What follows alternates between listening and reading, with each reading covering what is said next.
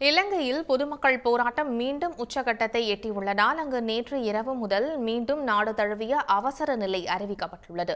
பொருளாதார நெருக்கடியில் சிக்கி மூச்சு திணறி வரும் இலங்கையில் அதிபர் கோத்தபய ராஜபக்சே பிரதமர் மஹிந்த ராஜபக்சே ஆகியோரை பதவி விலக கோரி நாட்டு மக்கள் போராட்டம் வெடித்து வருகிறது. ஏற்கனவே அதிபர் மாளிகையும் பிரதமர் மாளிகையும் முற்றுகையிட்டு பொதுமக்கள் போராடி வருகின்றனர். நேற்று முன்தினம் நாடாளுமன்றத்தை முற்றுகையிட்டு அனைத்து பல்கலைக்கழக மாணவர்கள் போராட்டத்தில் ஈடுபட்டனர். இதனிடையே உள்ளாடைகளை தடுப்பு கம்பிகள் மீது போட்டு வினோத போராட்டத்தை பொதுமக்கள் நேற்று நடத்தினர். இதனால் பல இடங்களில் கண்ணீர் புகை குண்டுகள் வீசப்பட்டது.